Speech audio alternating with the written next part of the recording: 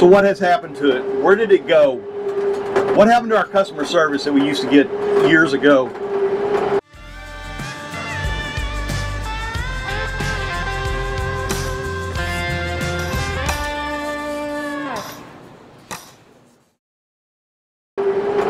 I know that some of you are probably sitting there going, uh-oh, he has a problem with his LS and the dealership's not taking care of him. That's not true.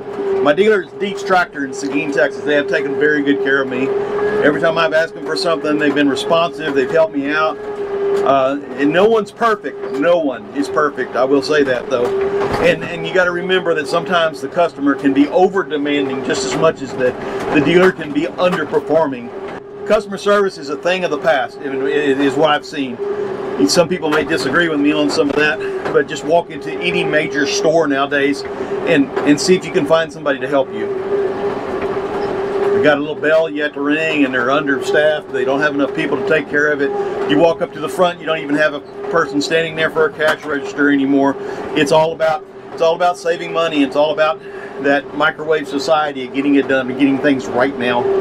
And and that I think it's that's some of our problem you know, and it's it's not always brand specific. It's just not. For example, I I, tell you right now, I went into the John. I had uh, well, actually, I called John Deere uh, to find some parts for that Frontier uh, 56 DM5060, and one John Deere. We have two John Deere uh, locations that are very close to me, and I called one of them, and the maintenance or the service department or the parts department were not very responsive. It was almost like I was causing a problem because I was calling them because I needed parts or I wanted to find out some information.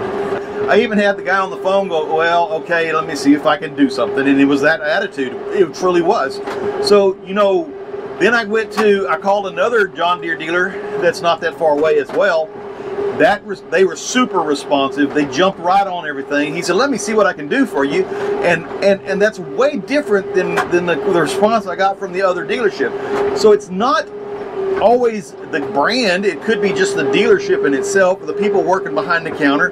Maybe they're having a bad day. I don't know, but at the same time, this type of stuff goes on all the time. And then all of a sudden, now we're sitting there going, uh, "Oh, you know." that brand is horrible. Their their their uh, customer service is terrible.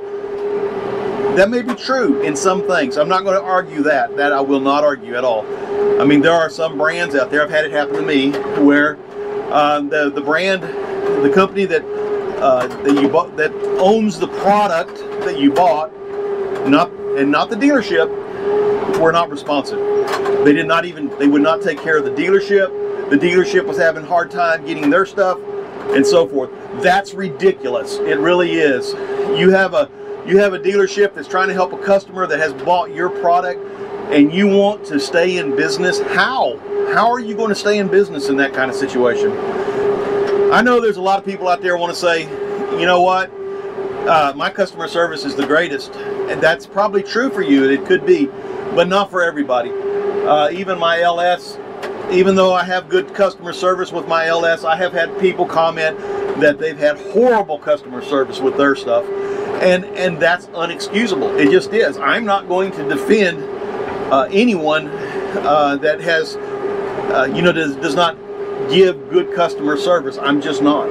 But I am going to say this. If you want to stay in business and you want to have a loyal customer following, and you want your name to get out there, you have to provide customer service. You have to. This field is extremely rough. We have a company called McCoy's, McCoy's Building Center. Uh, I have gone, I went into McCoy's here a while back to, to, to get some stuff and the managers uh, in San Marcos, San Marcos, Texas, they were on top of things. They were making sure that uh, I I was taken care of. Uh, they they were very engaged. They were, and that's customer service. But that was not the only McCoy's I had that happen in. I'm just saying that the San Marcos store was even more than in some of the other ones. Their customer service was outstanding. Just say that.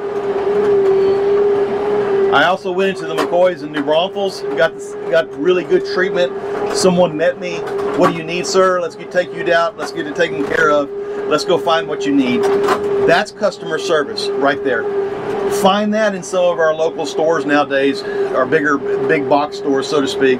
You walk into the store, you can barely find anybody to say hello to, but you can't even find somebody that checks you out, much less anything else. And then they expect that their customer service is great.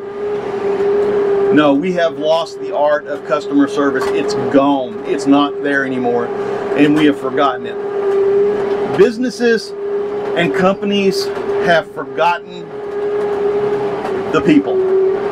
And I do mean from the customer to the employee himself. They have forgotten that they are nobody without either one. They are not. You can argue with me all day long. Now, if you're a really small company and you're the only person running it, you already know that if you don't take care of your customer, uh, you don't take care of your customer, you won't be in business much longer. Customer service is just not with us anymore like it used to be. I wish I could say, you know what, we've got the best customer service on, on all kinds of things. Dietz Tractor has provided me with good customer service. There's a John Deere place in San Marcos that's provided me with good customer service. That's all there is to it. There is a there is other companies. There's a there's a New Holland dealership that's in uh, uh, Shiner, Texas. Awesome.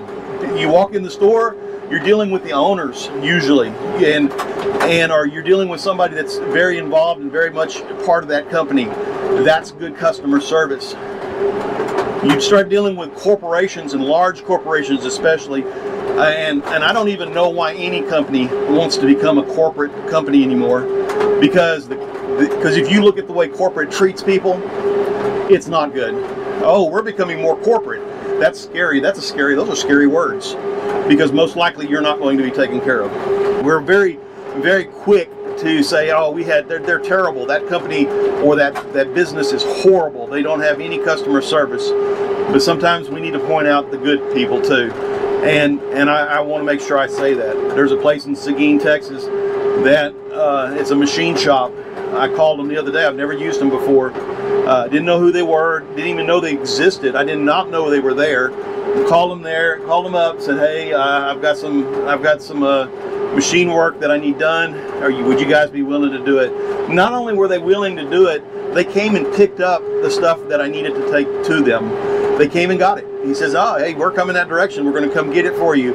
And then he trusted me enough that he just got my information and he took the parts and and went and I guess he's now working on them. Uh, but here's the deal: I went by there the other day just to see their shop because I, I didn't know anything about them, and I wanted to know a little more information. If I'm going to provide, if I'm going to give them uh, business, uh, and, and it could be, you know, not a huge amount of business, but if I'm going to provide them business, I'd like to know a little more about them. This is this is Seguin Machine, I think is what it's called. Uh, whenever I went there, the owner he took me on a tour of the shop. He was happy to help me. Didn't matter how busy he was, he was happy to take me out, show me his shop, show me what they do, show me some of the project they were working on to to I guess you could say to help ease my mind of who they are and what kind of company they are.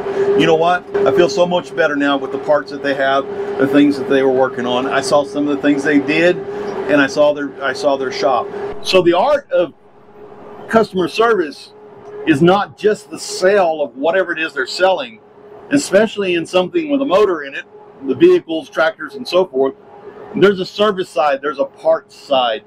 Uh, there are other things that you might come back and buy. I may come back and buy another tractor. All those things are going to be, those things are going to determine uh, how much money that dealer makes. And so a dealership that does not serve that customer that just bought something is losing out. You, it's not just the sale. It's not just the sale of the tractor or the car. Again, uh, this this whole thing's about customer service more than anything, and how we've got a lack of it, which we do. There's companies all over this area here that that have a lack of customer service. They don't take care of you.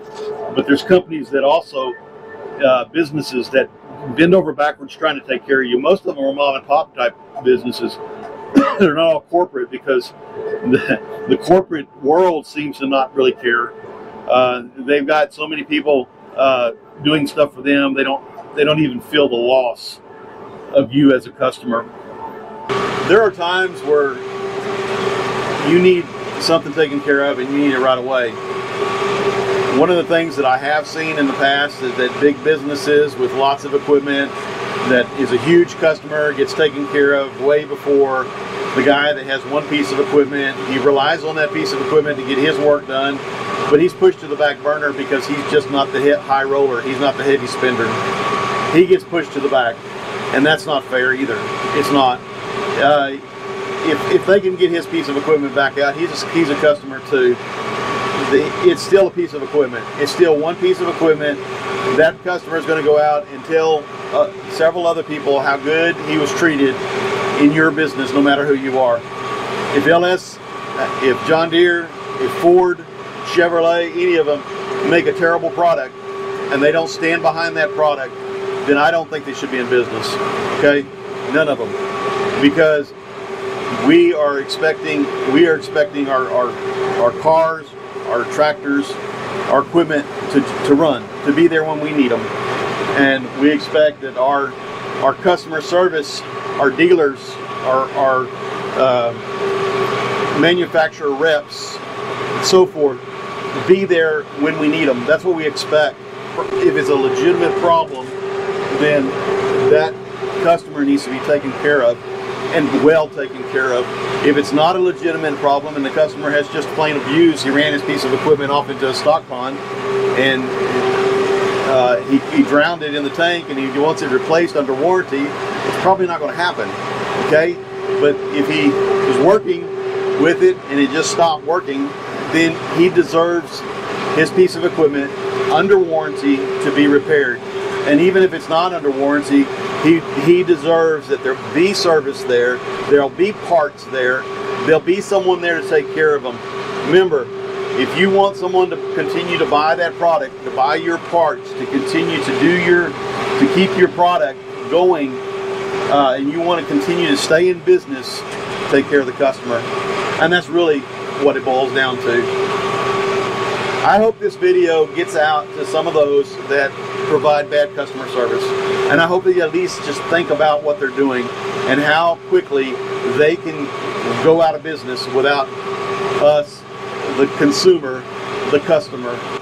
And make sure that you give kudos, you give you give props, you give the a pat on the back to those guys that are providing customer good customer service. They deserve it. I think we all know about all the bad stuff. Let's let's let's talk about some of the good stuff too. And still, I understand when we have to call somebody a, a, group out. If somebody's not taking care of the customer, we have to call them out. That's all there is to it. But at the same time, let's give an alternative to who we can go to and get our our machinery, our parts, everything taken care of. Step up to the plate, guys. Manufacturers, dealers, step up to the plate, do what you're supposed to do. Customer service has become a lost art. Until next time, though, thanks.